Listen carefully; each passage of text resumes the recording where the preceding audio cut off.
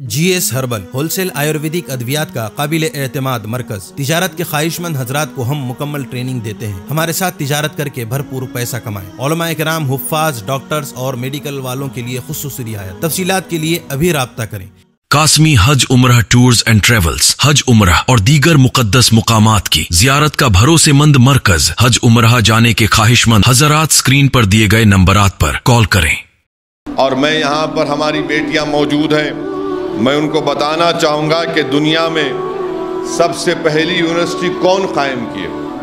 पूरी दुनिया में ऑक्सफर्ड, कैम्ब्रिज, हार्वर्ड, येल, ये बड़े बड़े नाम हम सुनते हैं। दुनिया में सबसे पहली यूनिवर्सिटी किसने कायम की और यूनिवर्सिटी कायम करके डिग्री किसने दी?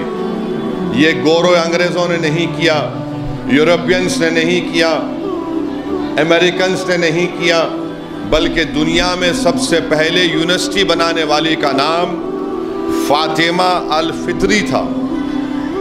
लड़की थी। मोराको में फातिमा अल फित्री उनका नाम था। 859 एडी में। उस वक्त मौरख लिखता है कि फातिमा अल फित्री के वालिद बड़े दौलतमंद थे।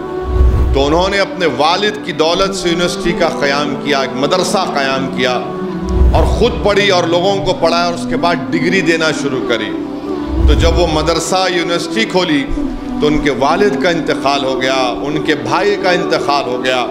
मगर अल्लाह की वलिया फ़ातिमा फित्री अपने इस मिशन में जारी रही और आपको जानकर खुशी होगी, हैरत भी होगी कि फ़ातिमा फित्री के इस दुनिया की पहली यूनिवर्सिटी से कौन पढ़कर निकला जिसको दुनिया इब्ने खलदूम के नाम से याद रखती?